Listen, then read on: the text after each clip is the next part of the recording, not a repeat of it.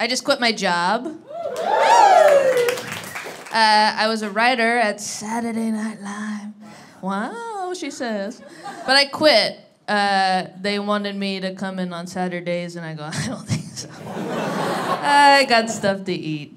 I got a bag of wet spinach at your mama's house. I didn't quit because uh, they didn't take any of my ideas, which they didn't. But I just didn't like it. It didn't work for me. But now I have all these really good ideas that I just can't do nothing else with. So, uh, do you mind if I share one of my sketch ideas with you guys? Okay. And then if you guys like it, maybe we can all get together and kind of like scab and then like write something for Tubi or Mubi. Okay. So here's my really good idea. Okay. She Hulk. I'm laughing already.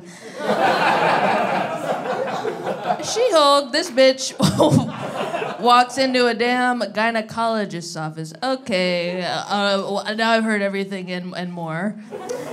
She Hulk goes into the gynecologist's office. She goes, Doc, is there any way that when I Hulk out, I can keep my pussy small?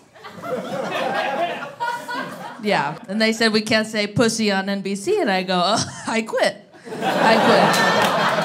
We can't say She Hulk's tight little pussy on NBC. I quit. Oh, but I bet we could say Shrek's uh, muddy foreskin. I bet we could say that all day long. Everybody would love that. Shrek's stinky fungi. Al Roker's talking about it. Everybody loves it on NBC. We could say peacock.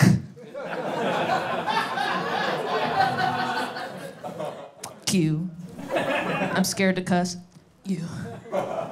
After working a job like that, this kind of a corporate uh, entertainment entity, it kind of got me thinking for a while that art is dead.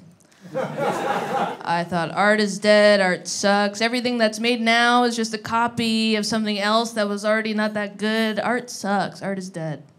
I thought that for a while. And then I went on an airplane uh, and I saw a guy wearing a hat and it said, I'm non binary. And I go, Is that Jean Michel Basquiat? Give him a grant. Give this guy a grant. Guys can make art too. It's crazy. So now I got all this free time. I don't got no job, but I am married. Woo! Ow! I'm married, straight married to a man. Sorry, I know. And we recently decided to open our marriage. Woo! yeah, we're uh, polyamorous, and whenever we tell anybody that, they really like that. Everybody really likes that idea. Nobody thinks it's bad. Everybody thinks it's really cool. No one's talking about it behind our backs or nothing. Everyone's like, oh my God, that's so, I wish I could do that. No, they don't do that. Everyone kind of gets really mad. Um, but we are uh, open um, because, you know, I want to have. Um, sex with uh, lots of different types of people, different types of sex with different types of people. So we are polyamorous as well. That's right. We're poly, poly gonna get divorced. Give it up, baby.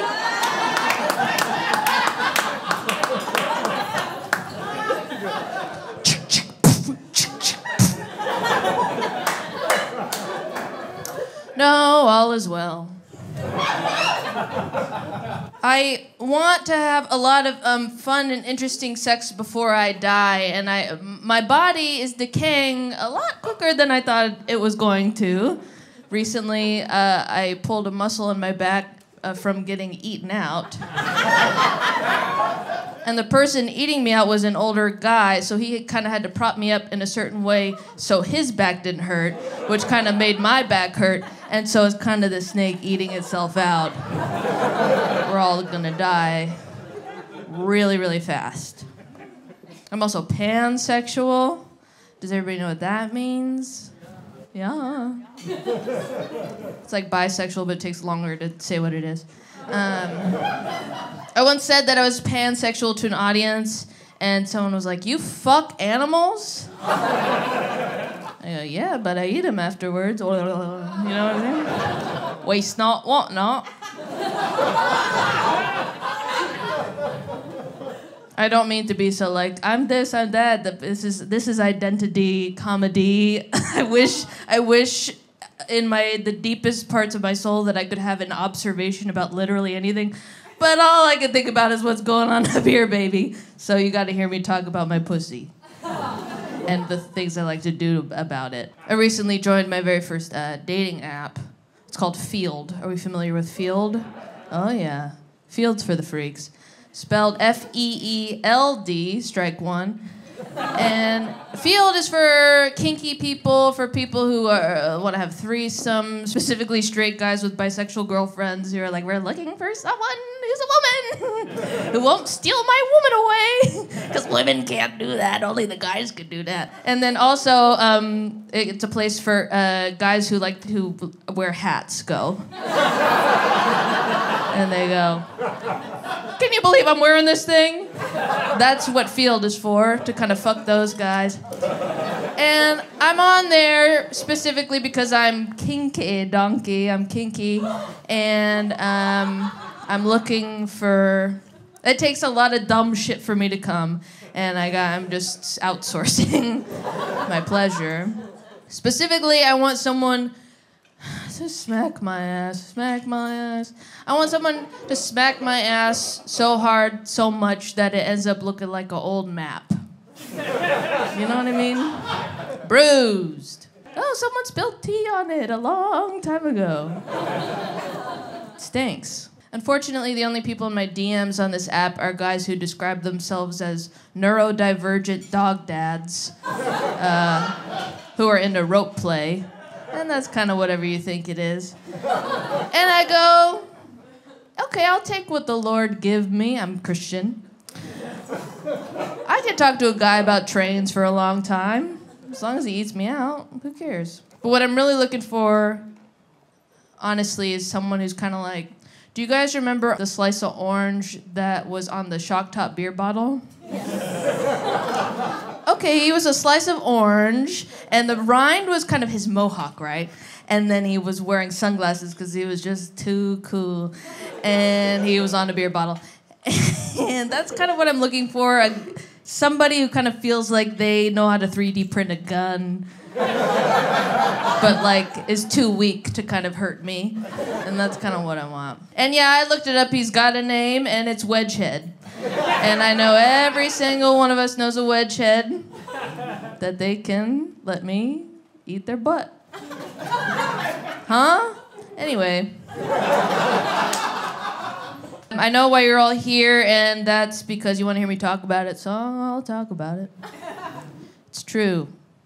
It's true. I did show my full bush in an Amazon pilot that was not picked up.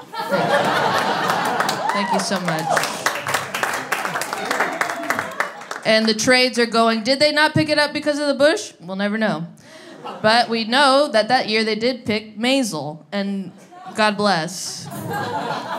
You know, it was interesting. Even though the pilot wasn't picked up, uh, people still find it. Men from around the world have found it. And they like to message me about what they think about my bush, whether they think it's real. Um, I get a lot of messages being like, ooh, I wish I could visit that jungle down there. I wish I could s- swipe through that jungle. I also get lots of messages being like, hey, do you show your bush in any other TV shows?